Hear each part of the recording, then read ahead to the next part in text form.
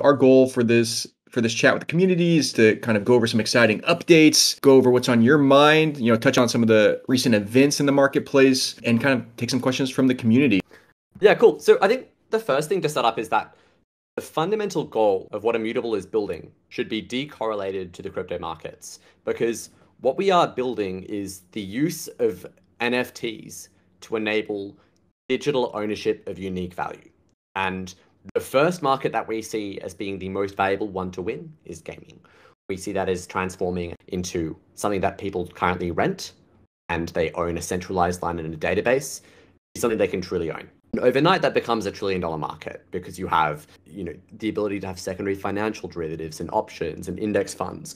Uh, and typically, what you see is an order of magnitude more in secondary financial market creation when you have the primary market turned into a real asset. Uh, and so the goal of that is like gamers aren't trading these assets because they you know want to make money in a, a, speculative manner that's correlated to, to what ethereum is doing. They're trading because they want to play with a card in a video game because they want to buy the skin that their favorite streamer used in their favorite game. And absolutely there'll be economic elements to this. This is why we're building true economies. But those economic elements should be decorrelated from what the crypto market is doing and so the more we build toward that thesis and get more games live, the more that sort of that traction happens. Um, and you know, games are certainly not going any slower because of this market. You know, people still want to, to spend time. In fact, um, you know, it could even be counter-cyclical in that time spent on entertainment uh, in, in the broader macro environment is going to be increased. And I think the other thing to uh, really call out is that the position of Immutable right now is exceptionally positioned because what matters in these types of markets is not what is the market priced at. It's what's our relative ability to compete, you know, and, and create the best possible solution for our customers. And right now we have more than $300 million in the bank. And we've got a, a sizable token war chest. We've got an org chart that has um, really strong infrastructure and uh, a really strong bench of executives, which means we can go out there and buy companies that are struggling because the, the market um, is where it is and they're struggling to raise um, and really improve our competitive position over the next 12 months. So I see this as a massive opportunity for Immutable. And, you know, what I always say is the messaging internally to our, our employees is always the same, which is we are building real products with real use cases this is not you know people in crypto selling to each other um, based on some hyped up sort of uh, staking reward etc which you know can have its use cases but what we're fundamentally building is like those things should exist to service a core use case of people trading stuff because it gives value to them uh, and so we always say the market can go down 90% and it does not change the mission. And I think it's really important to constantly inoculate people because as we get the highs, we will absolutely get these kinds of markets emerging. And I think that, you know, the market could go down another 50% from where it is today, and that would not stress me out. Um, I remember the last time in, in the end of 2019 when Ethereum went to $80. And even then, it was still, we've seen the benefit that this brings to players. We've seen the benefit that this can bring to musicians, to creators, the greatest shift in wealth distribution in the last, you know, sort of five decades, essentially, to, to creators ever. Um, and that is not made up based on sort of speculative demand. So I think we're in an exceptional position. Um, we're very comfortable in these sorts of markets, and I think the next 12 months will be a really big opportunity to build core, you know, um, customers um, and increase the the sort of scale and offerings of our current product. Awesome, thank you for that. I think yeah, it is it is very important to kind of underline, you know, you and the team have seen this before, kind of in 2019, you know, 2018, 2019, right? Um, building is nothing new for Immutable, and if you look at some of our partners, right, gaming, we, we really are bullish on on gaming, right? If you look at um, GME, Illuvium, right, some of these partners, Ember Sword, Planet Quest, right, we're very excited um, to kind of continue working and um, building these games um, out with our partners. Do you want to touch a little bit on some of these partners, or do you want to talk about the marketplaces that I think are going to bring more, um, you know, users and liquidity, this kind of, uh, you know, really positive parts to uh, the ecosystem? So I want to share some data points. Immutable over the last three months has been doing the most number of NFT trades out of any protocol in the world. It includes Solana, Ethereum Layer One, Polygon, uh, Flow, you name it. And that's because of our focus on driving sort of high volume transactions for high utility use cases, whether it's book games, whether it's um, you know uh, Illuvium or Planet Quest or um, Gods Unchained or Guild of Guardians, and that is with three marketplaces live. Over the past three months, we have signed more than eight marketplace deals with some of the biggest marketplaces in the world. Some of these you know about, some of them you don't, and you will come to know about over the coming weeks. And uh, we have the second largest marketplace uh, in the world, um, which is about to be sort of an- announced and, and will integrate shortly after. Um, we've got many who just went live, so OKX, uh, Kinguin, uh, GameStop, um, which is obviously going live very soon, OpenSea, which uh, we're currently integrating with and, and is still on track for a um, launch in, in the next sort of three to four months, um, and many, many more to come. And this means that every single trader on our platform is now going to have their orders shown everywhere and capable of being fulfilled everywhere. And so that number, of doing the most NFT trades in the world, is just going to go on steroids. And this is even without the incentives, which are coming out this quarter for every single trader on the platform. So I think we're about to see some really meteoric rises um, and a couple of catalysts that we haven't turned on yet. Um, so I, am really, really excited about that, just to be candid.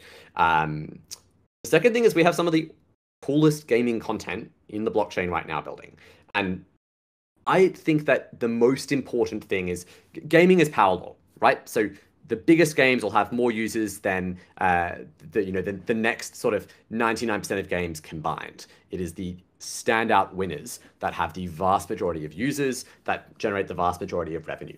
And we really focus on winning over those core high quality gaming customers. And I think there's probably you know not much at the, the level of quality that we've got building on um, Immutable today. I'm ridiculously excited about uh, Illuvium. I just got beta access, uh, and it is genuinely uh, very addictive. Um, so I, I hope I you know can can kind of I, I, may have to delete it at some point. I was used to be historically addicted to TFT, which is just um, you know a very very good game. But this stuff is the stuff that's going to take things mainstream. You know, building a game that people fundamentally want to play can triple the DAU of crypto overnight because the DAU of a reasonably popular game, 100 million users, uh, is literally bigger than the total user base of crypto today. Um, so that is what excites me. Building content and infrastructure that helps enable the next billion users of Web3. Um, we've got the Planet Quest Planet Sale coming up. We've got the Ember Sword launch coming soon as they fully migrate over from Polygon. Um, so, I mean, we, we've got a huge ton of content that's actually launching in the next few months, and good games take time to build. So, I mean, Illuvium has been in development for years now, um, same as you know Ember Sword and, and Planet Quest. So, really, really excited about these you touched on it a little bit, right? How how Immutable is positioned for the next 12 months, right? We have a war chest, we have a lot of cash, right? We're looking to find partners that want to build on us, and especially partners that might be in a bit of a situation that need help. We can come in and um, and potentially you know bring them into the ecosystem. When you start looking three, six, 12 months, um, what are some kind of big milestones you're looking forward to? Yeah, so I think important to remember, Immutable was built the start of 2018, which is the largest crypto bear market today. And I think it builds really exceptional products. When you are building in a bear market, you are not having your product market fit papered over by token incentives that mean people are using your product without actually any reason to do so. And we've seen many, many DeFi protocols launch with, you know, giant incentives, but actually fail to retain any product market fit or users after those incentives decay. And that can cause death spirals. So fundamentally, I think bear markets are really exceptional for making sure that the products that we build, people genuinely want to use. Nowhere is this more important than gaming. I, I've said this a few times, but if you look at the industry right now, where NFT has the most differentiated public response is if you look at something like music, something like artistic creators. You have very little backlash from those customers. And that's because the problem we're solving for them is creator monetization. That problem is solved to a quality degree of 10 to 1,000 times better than the status quo. If you're a musician, if you're an artist, you get far better monetization via NFTs than you do through traditional services. The offering that we are solving for gamers is completely different. Gamers do not play games to make money the people in the West don't need to make $20 a day. It's not their job. They play games to escape, to have fun, to self actualize, to socialize. And so the problem that we're solving is creating a better game. absolutely that should include a real economy because that's what they're spending their money on. But if you do not hit that sort of table stake of this game will hold up even without crypto in it, you're not solving uh, for that fundamental problem. You're not offering 10 times the value, uh, which we know is what you have to offer in order to truly disrupt an existing incumbent model. Gaming also takes time to build. So unlike PFPs, where people can spin up a great looking PFP project in a month, a great game takes generally a minimum of two years to put together. I think Illuvium has been um, incredibly quick at putting together what they have. Like they've literally ramped over the last year from um, 20 people to 300 people, which is insane. So, I mean, a lot of these these games are putting in very best efforts to blitz scale and um, start delivering high quality content now. But the reason I'm really excited is you look at the roadmap coming up, we've got the merge, we've got um, uh, the the sort of uh, scaling environment rapidly improving so that we can cater to these games, and we've also got literally all of the crypto's best games coming out in the next sort of um, three to 12 months. And the standard is only going to get higher from here. You know, the bar is no longer going to be set at you can have a crappy game with a strong DeFi element and people will play it. It will be the bar is everyone is creating a high quality piece of content.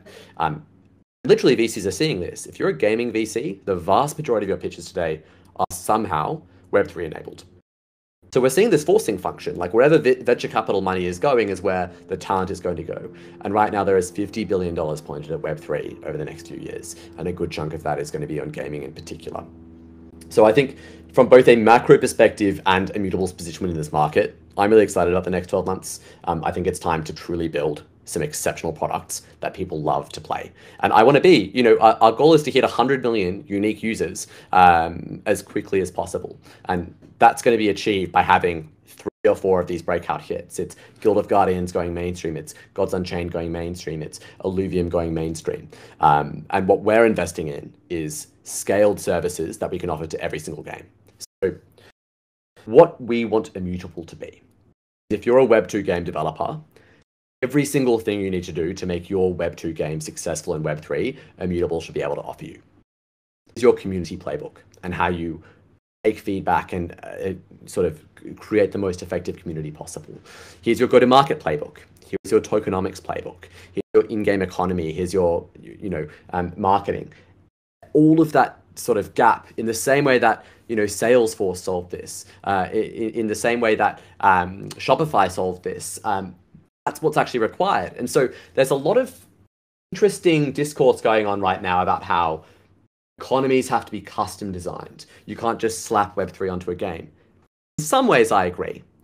In some ways, I completely disagree because the only way we make these digital property rights truly uh, scaled across the next thousand games is if we make playbooks that is incredibly easy for these game developers to use. We can't expect a, a random Indio studio to figure out sustainable economy model from scratch. That's huge effort and huge IP.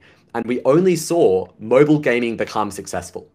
We only saw social gaming become successful when key industry leaders developed hit content and then turned the IP of that content into playbooks, which they scaled across many partners. Zynga literally rebranded Mafia Wars into hundreds of different games. One of them was that like a Hello Kitty branded game for kids.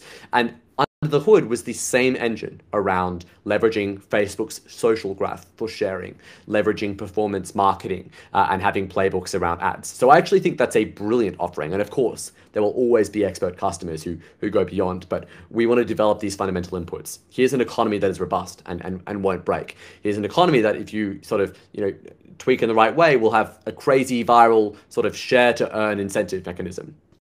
I really like that. I think um, the Shopify, the Salesforce analogies make a lot of sense, and I think you're right. You know, you can have kind of off the shelf economies potentially, you know, for specific games, and you can dive into them more deep depending on what the game mechanics are. But um, being kind of a one place, you know, one one stop shop for a lot of these game developers to help them um, is really exciting. And it's actually a, a, good segue into a question we have here. So I know we we are very bullish on video games, right? Gaming is kind of like our first priority right here in our event questions. WT's asking, you know, is video games the first initial target? Obviously, yes, right? Once that process is refined and proven, um, does IMX see itself branching out into other industries like insurance, retail, auto, real estate, etc.? Uh, do you want to touch on this a little bit?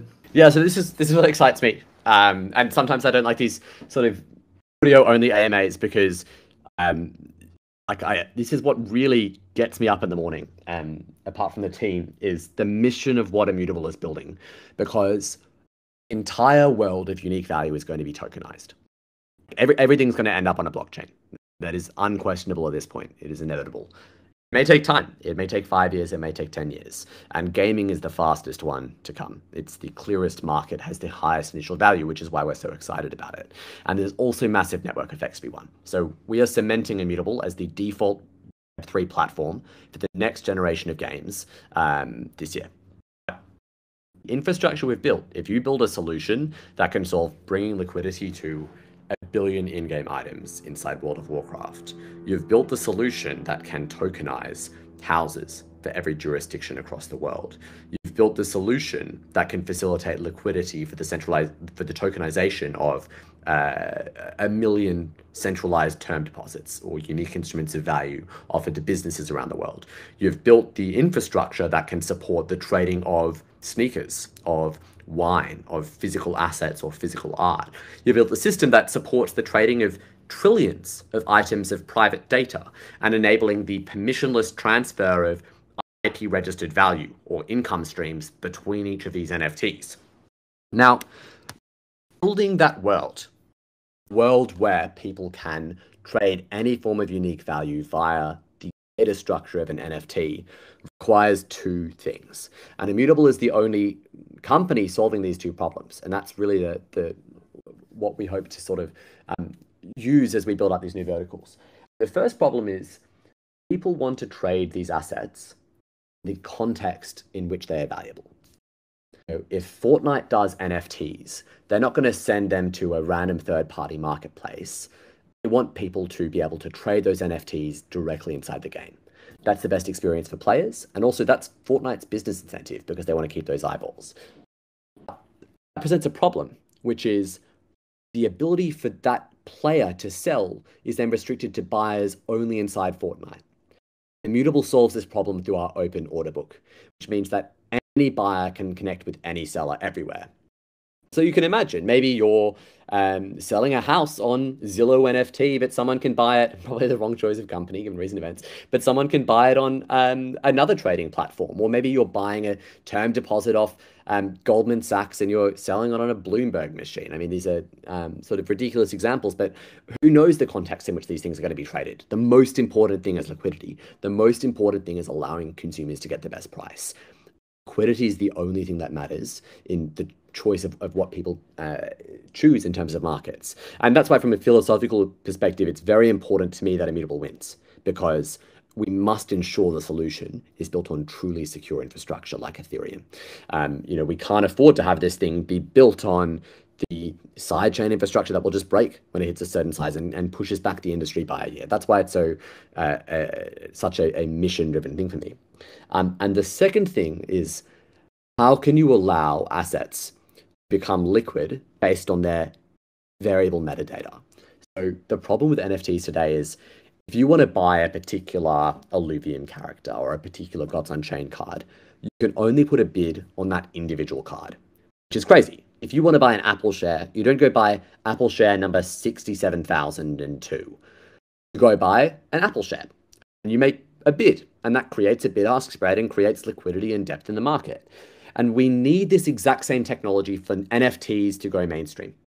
We need the ability to bid on any diamond card, you know, uh, any rare Illuvial, any Guild of Guardians hero of the diamond status, any term deposit with an interest rate of 2.5 to 3% and three months remaining from a top four bank. And so suddenly we can see we have literally created the engine that takes this total addressable market of the world's unique value made the way that any business and any consumer can trade that value at the best possible price.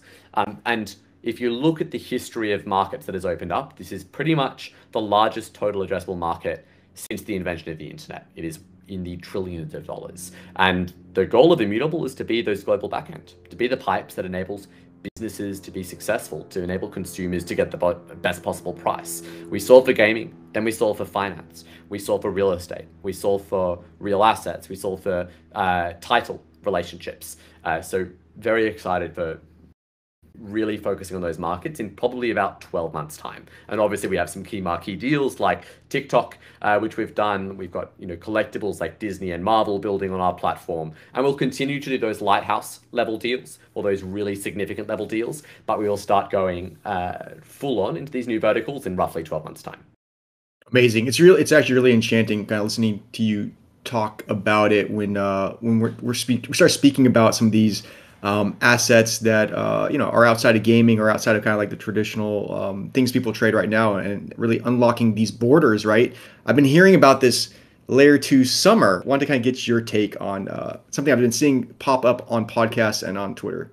Yeah, I, so I think the world is moving toward Ethereum-based solutions as a general trend. I think um, bear markets do this as well because you know, if you look at risk levels, alt chains are just a higher risk level, and people want to move to less risky assets.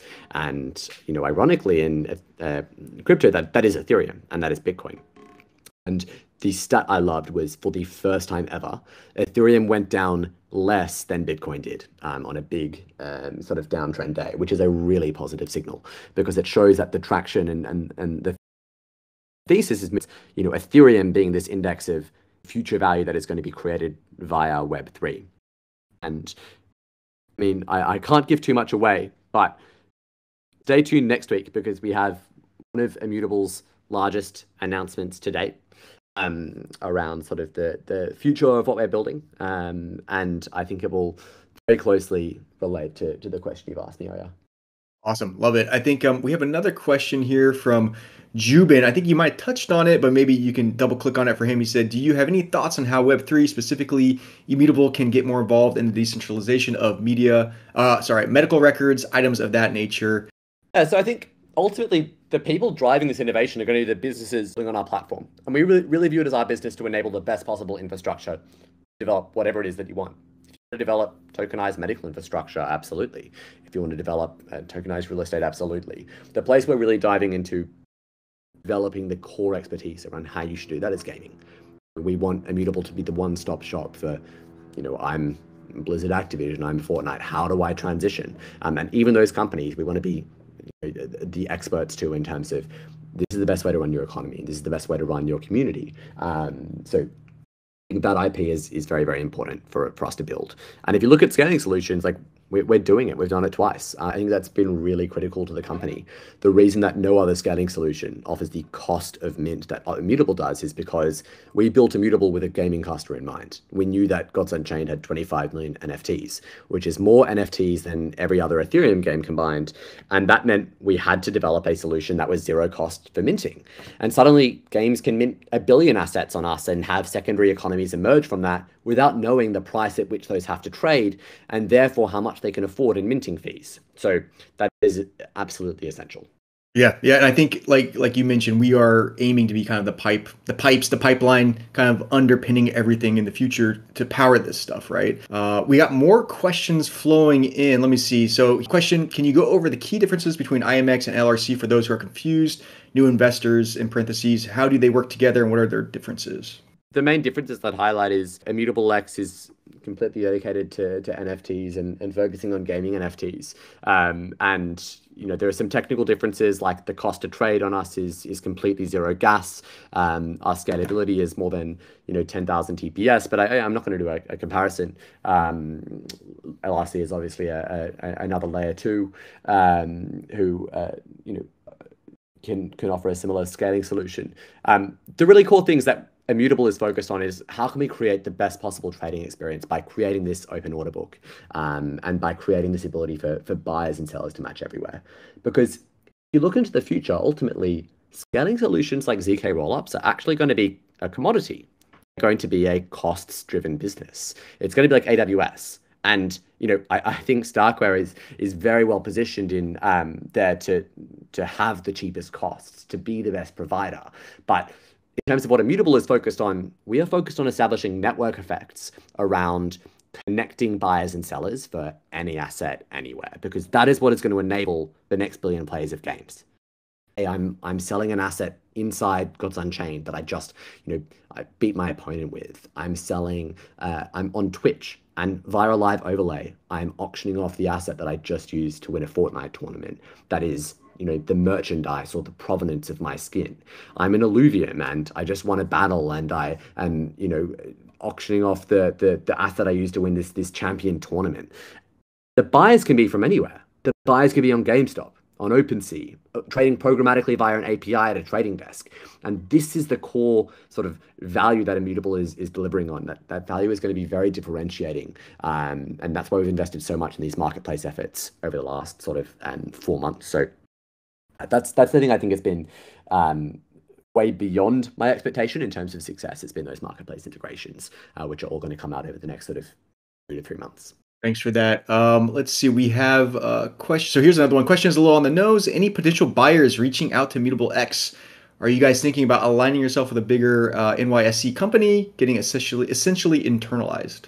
Not really is in terms of um, alignment. Like we we have our mission, we have where we're going. Um, of course, investors are always reaching out to Immutable, um, but um, look, I, uh, we, we, our, our goal is how do we make Immutable as big as possible, and then you know take it to an IPO or an STO. From Strong Hands, is Immutable collabing at all with the A16 gaming fund they just announced?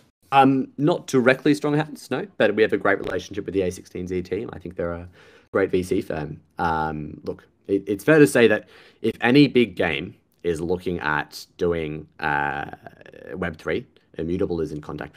Or even for these young and hungry teams, are we looking at kind of picking up uh, smaller type uh, agencies? Absolutely. I mean, we're going to likely acquire a few firms this year and just hire entire teams. So um, that is more efficient than us for hiring individuals. So absolutely, if you're a team, you want to come work with us, let us know, um, or we can invest in you and, and have you build on us.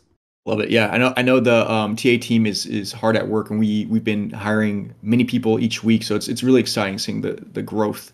Are there any other solutions, L2 solutions besides IMX that allow for gasless transacting?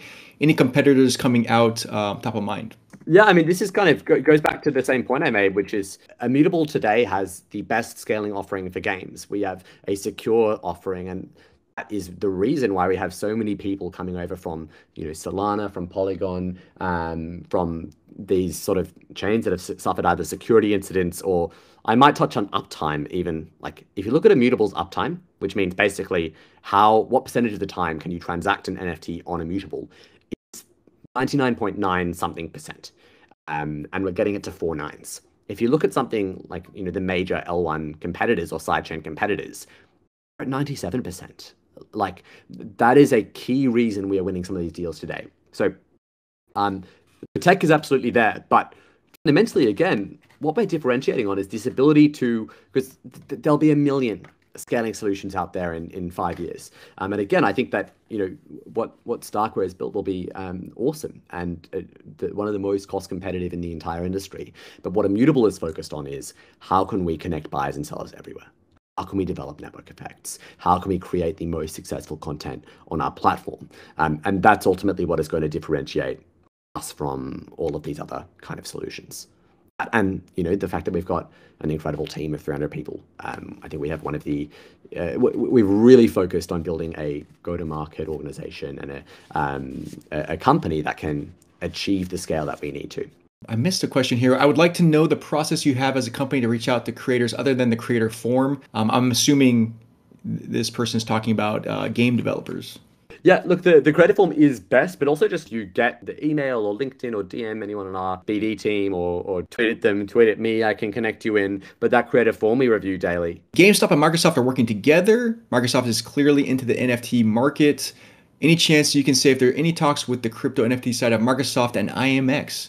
Yeah, look, I definitely um, I'm not going to speculate on, on that. Question specifically specifically for the gaming market. Can you give us a little more information with with the Tencent uh, partnership? I played a lot of League and would love to actually have digital ownership over my skins there. Yeah, I mean, absolutely. I think a, a MOBA like League of Legends or, you know, a, a TFT, which Illuvium is building, is a fantastic genres. Um, I expect them, you know, not that specifically, but I expect those genres to, to um, come on Immutable sooner rather than later. And we've obviously already got the, the TFT genre building. Um, Tencent's a fantastic partner. We, we are, you know, um, as an investor, we kind of get warm introductions to a lot of their portfolio companies, which has been really awesome. Here's a question from Jay Reese. What's the expected outlook for a bigger community for bigger community games like COD, right, Call of Duty, and Fortnite adopting NFT marketplaces with the Microsoft acquisition over Activision Blizzard? Should that help speed up the adoption? So uh, again, um, this is all pure speculation. I, I, mm-hmm. So that first off, the merger has not gone through. Um, so that acquisition would actually need to go through before any executive influence is exercised um, by Microsoft over Activision Blizzard. Uh, it will depend on how they manage that. So really, it would accelerate things if Microsoft wants to go down the Web3 strategy path, um, which obviously they've already expressed some interest in, and then they aligned that with their subsidiary.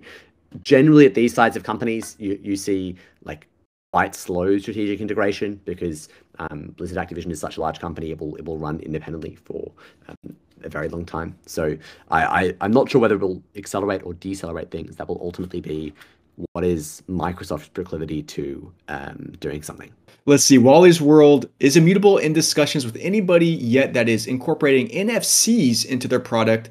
NFC being near field communication chips that would be embedded in an item that will prohibit counterfeits. For example, a Louis Vuitton purse with an NFC chip that ties the physical with the digital NFT. Um, no, but that seems awesome. And obviously, we've got Hero, um, who is doing the physical cards. So they're tying, you know, a, a, more than a million physical cards across the uh, states in America to Immutables NFTs. So like we, we've got a few of these hybrid businesses building on us. Um, that seems like an awesome use case. So if you're doing it, come reach out. That's exciting. Antonym, I think a question that segues perfectly. Uh, how strongly do you feel about the immutability of NFTs? Specifically, Hero and VeVe seem like they're still in control of the NFTs they're selling.